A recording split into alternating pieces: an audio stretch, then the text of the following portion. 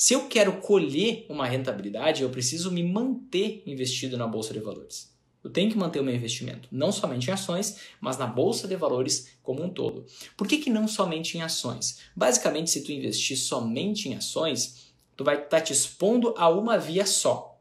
O que significa estar tá te expondo a uma via só? Eu acho que as ações vão subir. Ah, mas no longo prazo vão subir. Elas podem ficar 10 anos caindo, não tem problema. Podem ficar 22 anos caindo, episódios que já aconteceram, não tem problema. No longo prazo elas vão subir. Se tu fizer isso, investir somente em ações ou em qualquer outro tipo de investimento, focar em uma coisa só, tu está sendo um investidor da esperança, uma investidora da esperança, que é o quê? Aquele investidor que ele investe depois ele fica rezando ou torcendo para a realidade se adequar às suas próprias expectativas. Ele tinha expectativa de que aquele investimento ia subir. E aí depois ele fica ó, rezando ou torcendo para que aquilo aconteça. Só que pode não acontecer. Pode vir uma queda e demorar 9 anos, 22 anos, como já aconteceu, para depois a bolsa voltar a subir. Por isso, jamais investir somente em um tipo de investimento.